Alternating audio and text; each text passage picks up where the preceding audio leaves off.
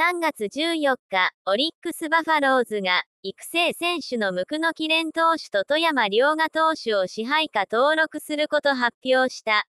ムクノキ、富山ともに支配下へ再復帰となる。球団を通じてムクノキは、まずは1年半の間、つきっきりでリハビリや治療、キャッチボールなどの練習の相手もしていただいたトレーナーの方々に感謝したいです。と周囲へ感謝。また、一軍で活躍したいという気持ちは誰よりも強いので、100%の自分の姿を見せていきたいと思います。とコメントした。一方の富山も、嬉しい気持ちでいっぱいです。監督、コーチ、トレーナーさんをはじめ、協力いただいた球団関係者の皆さんに本当に感謝しています。そのご恩に報いるためにも、結果を出していきたいと思います。これからもバリバリ頑張っていきます、と意気込んだ。